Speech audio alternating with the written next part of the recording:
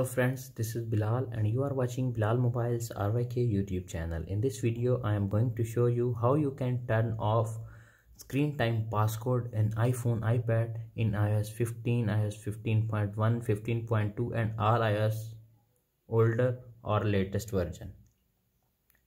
So guys, without wasting any time, let's start the video. Open the settings app. Tap on screen time. Tap on turn off screen time you can see appears on screen enter screen time passcode. Enter wrong passcode screen time. You can see appears on screen. Try again in fix. 5 minutes tap on cancel. Turn off. You can see everyone. You can see allowed apps. App limit content and privacy restrictions. You can see. Go back. Tap on change screen time passcode. You can see appears on screen two features. Change screen time passcode turn off screen time passcode. Turn off screen time passcode. Tap on forgot passcode.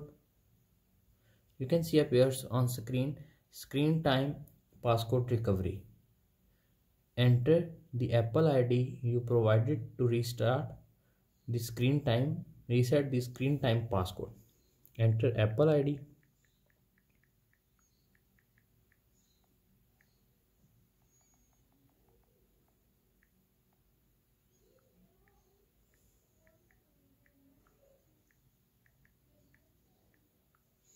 enters apple id and ok. Enter your apple id password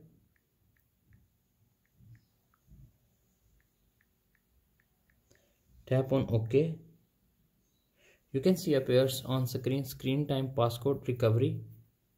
It will take some seconds to wait.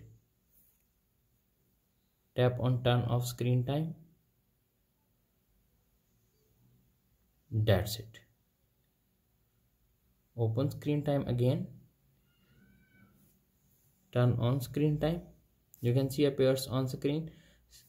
Screen time turn off without passcode in iphone and ipad that's it after watching this video i i hope you will all know how to turn off iphone ipad screen time passcode without passcode in ios 15 15.1 and all ios older and latest versions if video is helpful for you, please don't forget to share and subscribe. Thanks for watching.